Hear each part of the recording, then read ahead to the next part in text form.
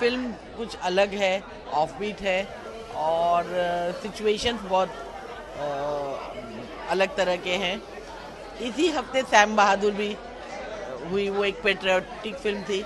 लेकिन ये भी एक बहुत डिफरेंट तरह की फ़िल्म है, जो लोगों को खासतौर पे ये जो आज की ऑडियंस है, आज का जनरेशन है, उसको बहुत पसंद आएगा। मुझे इसमें रणबीर की एक्टिंग सिर्फ़ नॉट ओनली रणबीर रश्मिका, रणबीर और अनिल कपूर। तीनों ने गजब की एक्टिंग की है। और फ़िल्म का प्लॉट बहुत अलग सा है। और जैसा कि डायरेक्टर का इतिहास रहा है कि वो बहुत डिफरेंट तरह की फ़िल्म करते हैं। लेकिन इसमें जो सबसे ज़्यादा इंटरवल के पॉइंट पे जो पूरी लड़ाई दिखाई है, वो बहुत सिचुएशन को अजीब सा करती है क्योंकि वो नेचुरल नहीं लगा है। एक अकेला इंसान क्यों लड़ेगा जब उसके बॉडी बॉडी गार्ड्स उसके साथ हैं? तो वो थोड़ी सी मुझे कम बहुत ज़्यादा अच्छे, बहुत सटल उन्होंने अभिनय किया है। सारी चीज़ बहुत अच्छी है, लेकिन कुछ चीज़ें अनरियलिस्टिक हैं। मैं इसको साढ़े तीन से चार के बीच में।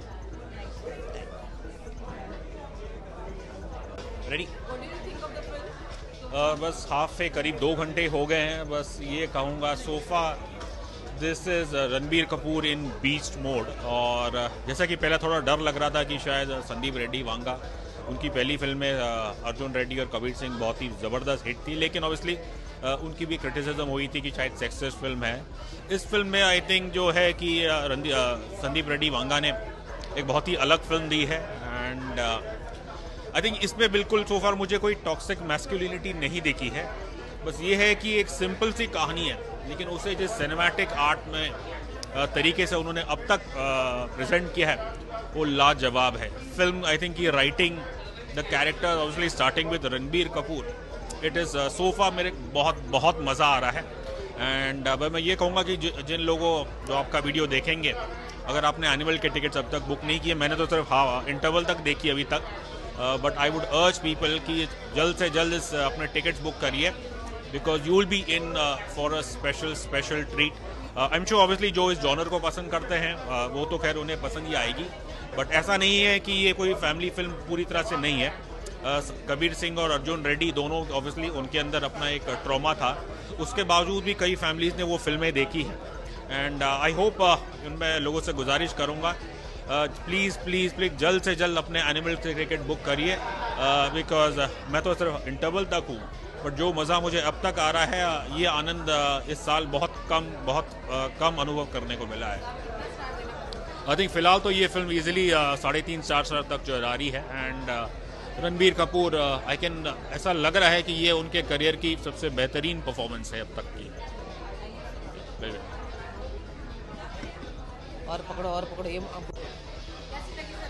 बहुत अच्छी मतलब इट्स माइंड ब्लोइंग मतलब हमने रणबीर को हमेशा उस अंदाज में देखा है जहाँ वो प्यार कर रहे हैं मोहब्बत कर रहे हैं लेकिन वो इतनी बेहतरीन गन्स भी चला सकते हैं मशीन गन भी चला सकते हैं इतना बेहतरीन एक्शन भी कर सकते हैं वो हमें उम्मीद ही नहीं थी। इट्स इट्स माइंड ब्लोइंग सबसे ज़्यादा मुझे रणबीर कपूर के किरदार का एटीट्यूड पसंद आया। और वो उस एटीट्यूड के साथ जो वो शिकायतें या वो डायलॉग डिलीवरी कर रहे हैं या वो किसी बात को रख रहे हैं, वो जस्टिफाई होती है कि हाँ अगर आज की जनरेशन उस जगह रहेगी तो बोलेगी कि मैं इतने रईस बाप की औलाद और मेरी खुद की बहन के साथ रैगिंग हो रही है। एक सीन है फ़िल्म के अंदर जहाँ वो कहते हैं, और कितना जस्टिफाई है कि वही सेफ़ नहीं है। I am the biggest you know son of a richest man in the country मेरी खुद की बहन से बहुत जस्टिफाई है यार।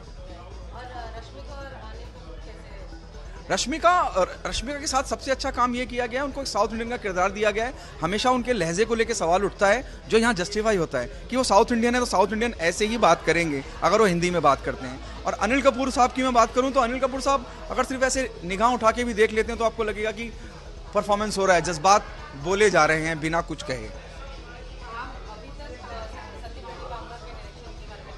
बहुत कन्विक्शन है यार, आप सोचिए, जिस दौर में हम हैं आज की तारीख में जहाँ फ़िल्म मेकिंग की हम बात करते हैं तो एक घंटा पचास मतलब कोई भी फ़िल्म जो नॉर्मल ड्यूरेशन की होती है, वो एक घंटा नब्बे मिनट की फ़िल्म होती है। मतलब मैं मिनट के हिसाब से नहीं कह रहा हूँ इन जनरल जो आम लोगों को समझ में आए, एक घंटा तीस मिनट या दो घंटे की फ़िल्म होती है, ये तीन घंटा तीस मिनट की फ़िल्म है, दो घंटे की फ़िल्म हम देख चुके हैं, और वो दो घंटे कब गुजरे हमें पता नहीं चला, दो घंटे बहुत बहुत बड़ा वक्त होता है आज की तारीख। तो इट्स इट्स सो लवली और जिस तरह से संदीप रेड्डी वांगा ने कबीर सिंह के किरदार को रणबीर सिंह के किरदार की आत्मा में डाला है वो एटीट्यूड वो स्वैग वो दिखता है। मतलब डायरेक्शन को लेकर वो इतना इतना कन्विक्शन है उस आदमी के अंदर कि यार ये मैं बना रहा हूँ तीन घंटा तीस मिनट आज के सिनेरियो में। सल्यूट टू हिम यार। अभी तक तो ये लग रहा है। यार मैं फ़िलहाल तो उसको पाँच में से चार स्टार देना पसंद करूँगा और, एक स्टार कहीं कहीं थोड़ा फ़िल्म को फिल्मी कर दिया गया है, खास करके वो जो मशीन गन वगैरह दिखाई है। एक्शन है और आज की जनरेशन पसंद भी करती है एक्शन के से लेकर, पुष्पा से लेकर वो दौर आ चुका है। लेकिन it's a very good film thank you